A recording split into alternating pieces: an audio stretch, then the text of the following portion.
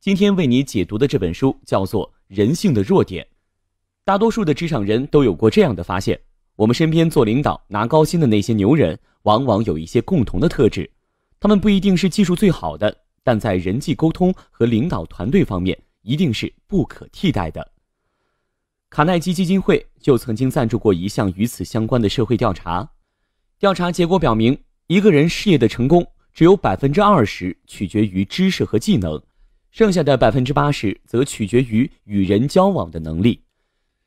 芝加哥大学也专门做过这样一项调查，他们发现成年人除了健康问题，最关心人际关系问题。既然大家的需求如此明确，芝加哥大学决定开设一门人际关系课程。但这时候他们却发现压根儿找不到这方面的教材。那个时候，卡耐基正是一位人际关系培训课程的讲师，他也发现了这个问题。于是他决定亲自写一本人际关系课程的教材，也就是这本《人性的弱点》。为了写好这本书，卡耐基花费了大量的人力和物力，从成千上万的专注当中寻找各个时期的伟人们处理人际关系的蛛丝马迹，深入采访了大量的政治领袖、商业精英等成功人士，了解他们维护人际关系的方法。历经十五年，终于出版了这本《人性的弱点》。这本书出版之后，立即被各界人士奉为沟通技巧的圣经，被翻译成六十多种语言，全球总销量达到了九千多万册，堪称人类出版史上的奇迹。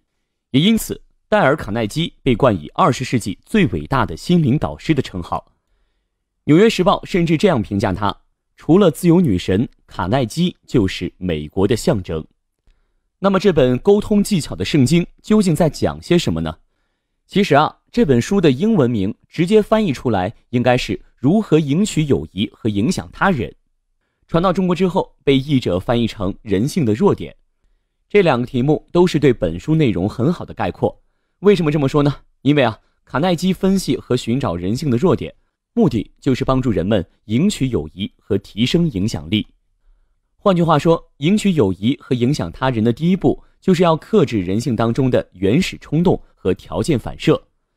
比如说，当我们愤怒的时候，伤人的话就会脱口而出。比起耐着性子去理解对方，发泄怒火是我们的本能反应。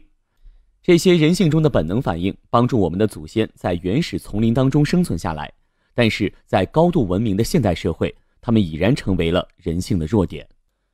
在这本书当中，卡耐基指出了人际交往当中人性的弱点，并提出了改善人际关系的具体行动。所以，卡耐基也把这本书称为。指导人际关系的行动手册。下面我将为你详细讲述这本书的三个重要内容：一、人性中有哪些弱点会导致人际关系变差；二、针对这些人性的弱点，卡耐基提出了哪些原则来帮助我们形成良好的人际关系；三、在保持良好的人际关系基础上，应该如何提升自己的影响力。好的，我们先来讲第一个内容：人性中有哪些弱点？会导致人际关系变差。在书中，卡耐基主要讲到了三个人性的弱点：一、随口指责和抱怨；二、听到不同的想法时立即反驳；三、逃避错误。我先讲第一个人性的弱点：随口指责和抱怨。这个弱点在人际交往中会带来什么样的后果呢？卡耐基认为，多数人无法保持持续的理性，人性中充满了各种情绪、偏见和虚荣。当你指责别人的时候，他的偏见、虚荣、自我保护意识都会站出来为自己辩护。卡耐基说，他花了大半辈子的时间才悟出一个道理，那就是百分之九十九的人无论做错什么事情都不愿意自我批评。书中讲了一个例子：一位资深的监狱长发现，即便是监狱中的罪犯，也很少把自己认定为真正的罪人，他们每个人都认为自己有足够的理由杀人放火。卡耐基有个非常恰当的比喻，他说：“我们对他人的指责就像是家养的鸽子，虽然放出去了，但它总是会飞回来的。”卡耐基建议大家牢牢记住这个比喻，每次开口指责或者抱怨之前，首先要克制住人性的冲动，想一想你的指责将来会以各种方式回到你的身上，并且啊，指责解决不了任何问题，只会招来怨恨。指责和抱怨是傻瓜都会做的事情。但是理解和宽容却需要好的修养和自制。讲完了第一个人性的弱点，随口抱怨，我们接下来讲第二个人性的弱点，听到不同想法时立即反驳。表达自我是人类重要的天性。当听到不同意见时，人们多数情况下会不假思索地反驳，以此来获得表达自我的机会。谈论和表达自我可以使人在心理上获得极大的满足。现在流行一个词儿“怼人”，意思就是反驳他人的意见，与他人争论。怼人的结果无非就是你输了，或是对方输了，不管谁输了，都有一方的面子受到伤害。而卡耐基认为，赢得争论的唯一方式就是避免争论。当你争论时，你会发现，即便你有百分之百的正确理由，对方也不见得会服你。争论的结果往往是对方更加肯定自己的想法了。本杰明·富兰克林说过这样一句话：“如果你要做一个争强好胜的人，或许你能赢上几场辩论，但这种胜利最终都是没有意义的，因为你失去了他人的好感。”书中举了一个例子。怀特汽车公司有一位明星销售员，他是这样卖车的：假如一位前来买车的客户对他说：“我觉得怀特汽车并不好，还是某某汽车更好一些。”这个时候，他绝不会与客户争论到底谁家的车更好，而是适当认可客户的看法。这位明星销售员是这么想的：如果和客户争论起来，伤了客户的面子，那客户只会更加维护自己的看法。所以他会对客户表示适当的认同，然后等到有机会时见缝插针地说一说怀特汽车的优势，这样沟通反而更容易让用户改变自己的想法，对怀特汽车产生兴趣和好感。那么到底要怎样处理不同的意见呢？卡耐基认为要欢迎不同的意见，不但欢迎，还要感谢，因为这个不同的意见很有可能让你避免犯下大错。好，接下来我来讲第三个人性的弱点。逃避错误，工作和生活中难免会出错，怎样处理这些错误呢？相信大家心里都有一个正确答案，那就是尽快弥补问题，并且真诚的道歉。但是人性的弱点就在于，即便你知道什么是应该做的，你也不想面对做错事的后果，所以你一再逃避错误，为自己的错误辩解，后果只能是错上加错。卡耐基说，越是一个傻瓜，自我辩护的态度就会越激烈。而越是有修养的人，就越是敢于承担错误。实际上，态度真诚的认错，往往都会得到原谅。如果你一不小心出了错，那么一定不要被人性左右，不要辩解，勇敢的承担错误，用理性来解决问题才是最好的选择。否则，折磨的只能是自己的内心。那换个角度，当他人出了错误，而你不得不谈到这个错误时，如何正确而不伤感情的谈论错误呢？卡耐基认为，在谈论他人的错误之前，不妨先承认自己的问题。他举了一个例子：当一个父亲发现自己的儿子在吸烟，他该如何应对呢？这位父亲没有直接警告他的孩子不准吸烟，而是告诉孩子自己是如何染上烟瘾，并且深受其害的。由此引出话题，最后孩子欣然接受了父亲的建议。好了，这就是我为你讲述的第一部分内容。人性中是有弱点的。比如随口指责和抱怨，下意识反驳不同意见，以及逃避错误，这是人性的原始反应，是没有理性可言的。一味的顺着人性来处理社交问题，是人际关系变得糟糕的根本原因。因此，要克制住人性的弱点，转换思维方式。那么，如何克制人性的弱点来转换思维方式呢？卡耐基提出了人际交往的三项原则，来帮助我们形成良好的人际关系。换位思考，二善于倾听，三让人感受到重视。我来依次解释这些原则。先来说第一个原则：换位思考。卡耐基本人非常看重这一点。他说：“如果看完这本书，你只记住了换位思考的原则，并运用到人际交往当中，那么你就会收获满满。”可见，换位思考这个原则尽管听上去简单，但是能够发挥作用的关键却在于要做到时刻去运用它。书中讲了这样一个段子：卡耐基喜欢钓鱼。他说他喜欢吃水果和蛋糕，但是钓鱼的时候绝不会用水果和蛋糕做鱼饵，因为鱼只喜欢吃虫子。钓鱼时你应该研究鱼喜欢吃什么，而不是把你喜欢吃的东西拿去喂鱼。很多时候，寻求帮助的过程和钓到一条鱼的过程是异曲同工的。在开口之前，都需要想清楚这样一个问题：要做些什么才能让对方产生兴趣，才能满足他的需要，然后心甘情愿地帮助我。一位哈佛商学院的院长说过这样的话：每到谈判之前，我都会在对方的办公楼前面来回走上两个小时，这样我就可以有足够的时间，从对方的立场和我自己的立场上，把我们各自的需求和想要的结果全都想清楚。卡耐基认为这句话说得非常精彩。但凡聪明的人、眼界开阔的人，都会有足够的耐心，站在他人的立场上去思考和理解他人的想法。孙子兵法说：“知己知彼，百战不殆。”换位思考，就是在帮助你知己知彼，满足对方，从而满足自己，实现共赢，这才是与人交往之道。下面我来为你讲人际交往的第二个原则：善于倾听。在人性的弱点中，我们讲到，表达自我是人类重要的天性。我们常常滔滔不绝地表达自己的想法，以至于很少在意他人的感受。卡耐基说：“要善于倾听。”并不是简单的听对方说什么，而是在听的时候理解对方，照顾对方的感受。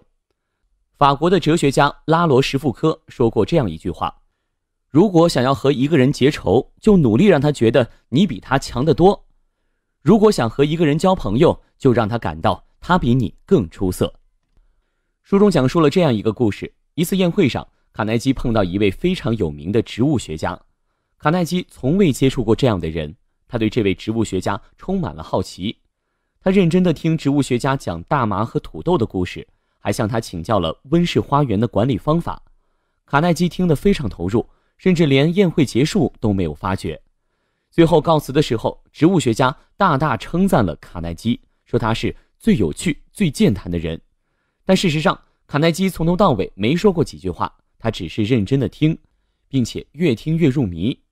植物学家感受到了卡耐基的入迷，所以越讲越兴奋。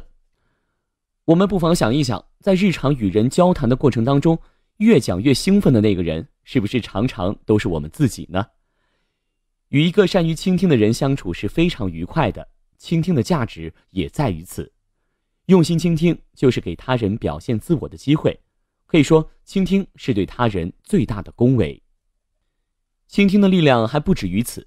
当一个人遇到痛苦时，我们的第一反应常常是安慰他或者提建议，但实际上，在这个时候，听听这个人想说什么，引导他说出想说的话，才能真正的帮助他释放压力。这样一来，对方也会感受到你的真诚和用心，进而收获一份珍贵的友谊。下面我再来讲第三个原则：让他人感受到重视。美国教育家杜威有句名言是这样的。人类内心深处最重要的欲望是实现对重视的渴望。在著名的马斯洛需求理论中，人类最高层次的两个需求就是被尊重以及自我实现。那么，如何正确的表达对别人的重视呢？卡耐基认为有三种方式。首先，要努力记住每个人的姓名。卡耐基在书中写道：“一种最简单、最明显而又是最重要的表达重视的方法，就是记住对方的姓名。”许多政治家的第一课就是记住选民的姓名。拿破仑就是这样一个典型的政治家。尽管国事繁忙，但他每次与人接触都要问清楚对方的姓名，同时在他脑海里把这人的姓名与他的样子对应起来。他独自一人时，还会把一些很重要的人的名字写在纸上，反复拿来记忆。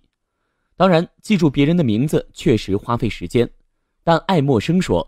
良好的礼貌正是通过小的牺牲达成的。其次，要真诚的赞美对方。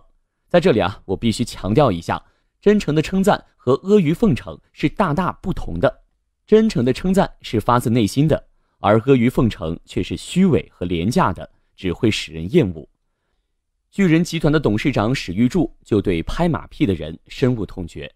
在史玉柱看来，有本事的人，心理健全的人，往往不会做出溜须拍马的事，而心术不正、想要不劳而获的人，才会想着阿谀奉承。他甚至定过这样一个规矩：如果下属拍领导的马屁，要当场罚款五百。当然，这种做法有点极端，但足以让人明白，虚伪的奉承绝非正道。那么，如何真诚的赞美呢？他要求我们认真观察，注意到别人的每一点可贵之处。书中讲到了一个机械工程师与美国总统罗斯福的故事。白宫为罗斯福定做了一辆汽车，那位工程师是主要负责人。他来白宫交付汽车的那一天，罗斯福不仅叫出了他的名字，还认真地称赞了很多汽车设计的细节。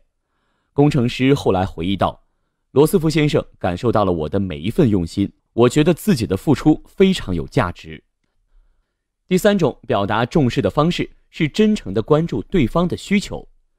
卡耐基以作家的创作为例，他说。如果一个人想要成为优秀的作家，就要足够关心读者的感受，这样读者才能对你的作品感兴趣。任何需要与人打交道的职业都是如此。不知道大家有没有听过郭德纲的相声？为什么他的相声听众很多呢？除了优秀的作品以外，没有哪个相声演员比郭德纲更关注观众的感受了。他常常说，观众朋友们是衣食父母，用当下最流行的话讲，这就是用户思维。你足够在乎用户的感受，才能得到用户的喜爱。每个人都希望被人重视，这就是每个人都需要的存在感。所以，卡耐基十分肯定地说：“如果你愿意让朋友感受到你对他的重视，那么你在两个月里获得的友谊，会比你过去两年的收获还要多。”好了，上面为你讲述的就是本书的第二部分内容。卡耐基提出了，为了获得良好的人际关系，在人际交往中应当遵循三个原则。首先，学会换位思考，理解对方的感受，帮助对方获得他的所需。其次，用心倾听他人说话，给他人表达自我机会。再次，要真诚的欣赏和关心，让对方感受到我们的重视。下面我来讲最后一个内容：在收获了良好的人际关系之后，如何在这个基础上提升自己的人际影响力呢？换句话说，如何说服他人认可你的想法，配合你做事？在这里，卡耐基讲了两个重要的法则：一、求同法则；二、参与法则。先来说第一个法则——求同法则。如果你想让对方与你统一战线，就一定要始终强调你们的共同目标，千万不要一开口就讲有矛盾的地方。一位美国的心理学教授欧菲斯托说：“当一个人说出了‘不’字时，他所有的人格尊严都要求他把‘不’字坚持到底。”即便他后来感觉到不对劲儿，但他的尊严也绝不允许他改变，只能坚持下去。因此，说服一个人的时候，从一开始就不给他反对的可能是非常重要的事。那怎么做到不给对方反对的机会呢？这里就需要学会求同式的提问技巧。什么是求同式的提问呢？其实就是在沟通当中遇到不同意见时，不要直接反驳对方，而是用大家都同意的观点逐步说服对方。卡耐基认为，这种提问方式有效避免了争论，是最具智慧的谈判法则。如何把这种提问技巧运用到生活中呢？卡耐基讲了这样一个例子：艾迪是一位射击爱好者，喜欢拉弓射箭。通常他都是租赁弓箭，但这次他来到了一个陌生的地方，对方只卖不租。眼看就要失去艾迪这位客人的时候，售货员凭借着自己的经验，关切地询问道。之前租赁弓箭的费用是不是三十美元左右呢？艾迪回答说：“是的。”售货员接着问：“你想不想省钱呢？”艾迪回答：“当然了。”于是售货员推荐了一款弓箭，全套下来只要三十五美元。售货员通过提问告诉艾迪，只需比之前多付五美元就可以拿走一整套弓箭。艾迪一听，毫不犹豫就买下了它。一个好的问题可以往往隐藏着说服对方的影响力。求同式提问法就是用温和而主动的方式引导着对方到达你的目的地。下面我来说第二个法则——参与法则。卡耐基认为，说服一个人最好的方法就是把这个想法变成他自己的意愿。比如说，当你有一个好的想法，希望得到某个人的认同时，不妨让对方参与进来，对你的想法提提意见，把它变成这个想法的一部分。这样一来，不用费任何脑筋，对方就能积极主动地向你的想法靠拢。书中讲了这样一个例子：威尔逊是一家服装企业的员工，为了与纽约一个著名的设计师达成合作，有三年的时间，他几乎每星期都拿着公司的服装式样去拜访那位设计师，介绍自己的服装品牌，说明合作意愿，但却始终被拒绝。后来呢，他终于换了一种方法。他拿了几张自己的工厂尚未完成的服装图样，给到设计师说：“我想请你帮我一点忙，这里有几张尚未设计完成的图样，请您告诉我，如果是您，接下来会如何完成这些设计？这一次，他终于达成了合作。那位设计师让他留下图样，在几天之后给出了自己的设计成品，然后他们达成了长期的合作协议。我们谁也不愿意被人强迫着做一件事情，都更加喜欢由自己来做出选择。当别人的想法变成自己的想法时，我们会加倍呵护这个想法。参与法则还同样适用于对孩子的教育，比如有的孩子非常讨厌吃早餐。即使父母唠叨一百次不吃早餐对身体有害，孩子也不见得就会好好吃饭。这时候，你不妨让他也参与到做早饭的过程中来。做完之后，孩子自然就会想尝尝自己亲手做的食物。不论是生活还是工作，参与法则都非常有效。当我们有一个非常好的想法要和对方沟通的时候，不妨努力把这个想法也变成对方自己做的早餐。好了，到这里第三个内容也讲完了。在收获了良好的人际关系之后，通过求同法则和参与法则，可以有效的说服他人，提升自己的影响力。我们来总结一下今天的内容：人性中是有弱点的，比如随口指责和抱怨，下意识反驳不同意见，以及逃避错误。这些弱点是人性的原始反应，是没有理性可言的。一味的顺着人性来处理社交问题，是人际关系变得糟糕的根本原因。因此，要克制住人性的弱点，转换思维方式。首先，学会换位思考，理解对方的感受，帮助对方获得他的所需。其次，用心倾听他人说话，给他人表达自我机会。再次，要真诚的欣赏和关心，让对方感受到我们的重视。最后，还要记住两种说服他人的法则。求同法则和参与法则，始终强调与对方的共同之处，引导对方积极参与我们的想法，这样既能够有效说服对方，又可以避免争论。最后还需要提醒，卡耐基强调，人的记忆力是有限的。如果你真的想从这本书中获益，就要反复温习和使用这些与人交往的技巧。有人说，虽然听过很多道理，却依然过不好这一生。之所以如此，是因为你只是听了道理而已，却没有把道理一一实践和运用。所以古人讲“知易而行难”，只有知行合一，才能把听过的道理变成自己的道理。好，《人性的弱点》这本书就为你解读到这里。听书笔记在音频下方，下一本好书与你再会。